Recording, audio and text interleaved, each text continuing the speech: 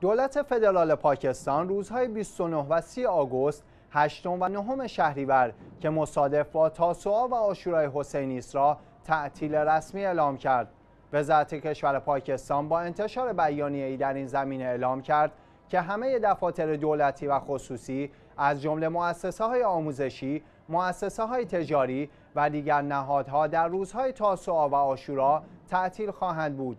همچنین بر اساس این بیانیه تدابیر امنیتی در سراسر پاکستان برای کمک به برگزاری مراسم و دسته های عزاداری در این کشور در نظر گرفته شده است. پاکستان در سالهای گذشته شاهد حملات متعددی به مراسم عزاداری امام حسین علیه السلام در دهه محرم به ویژه در روزهای تاسوعا و آشورا بوده است.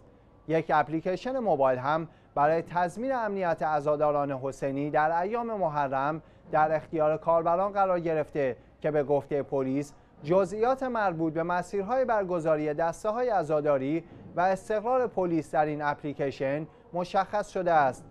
علاوه بر این دسترسی به دوربین های مداربسته از طریق این اپلیکیشن برای نظارت بر مجالس و دسته های ازاداری به طور آنلاین امکان پذیر است.